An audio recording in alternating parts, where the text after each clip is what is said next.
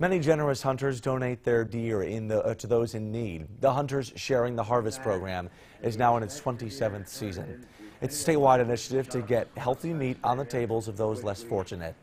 Hunters turn over their venison to a processor, which will send it on to area food banks across the Commonwealth.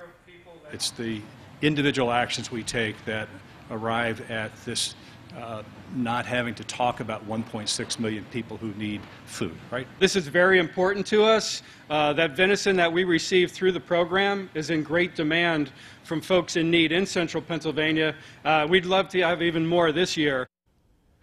Officials say last season a record of more than 3,000 deer yielded more than 65 tons of deer meat.